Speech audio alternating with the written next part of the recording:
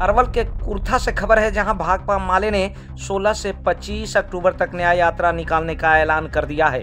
वहीं अरवल विधायक महानंद ने प्रेस वार्ता कर बताया है कि सरकार की नाकाम कानून व्यवस्था, स्मार्ट मीटर, गरीबों से हो रहे लूट, हत्या के खिलाफ बदलो बिहार न्याय यात्रा अभियान चलाया जा रहा है।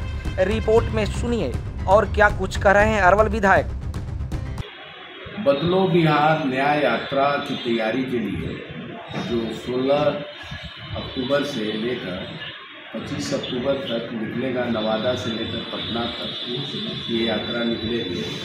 और नवादा से जो चलेगी, वो कॉमरेड दीपंकर भट्टाचार्य के नेतृत्व में ये यात्रा, ये जगदेव बाबू के पावन धरती, वीरेंद्र विद्रोह की पावन धरती से गुजरते हुए ये बहुत सारे यात्रा का उद्देश्य क्या है?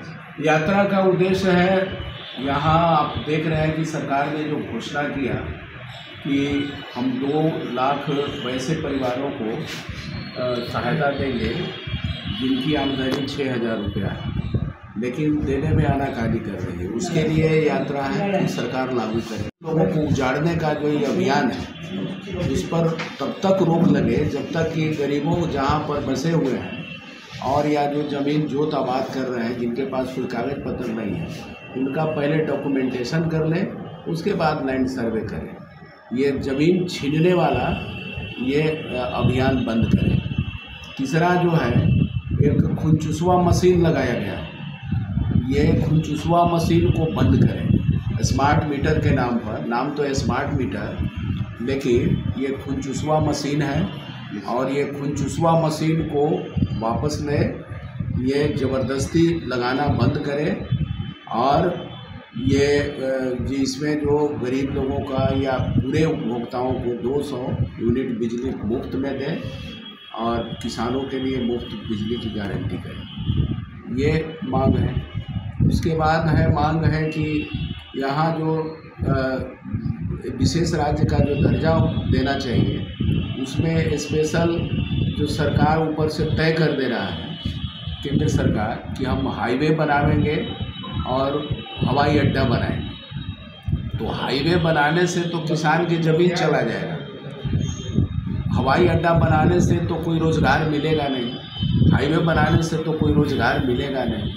तो विशेष राज्य के दर्जा का मतलब है कि किसानों के लिए, मजदूरों के लिए, नौजवानों के लिए और बेरोजगारों के लिए क्या योजना लेकर के आ रही उसके लिए विशेष राज्य का दर्जा होना चाहिए।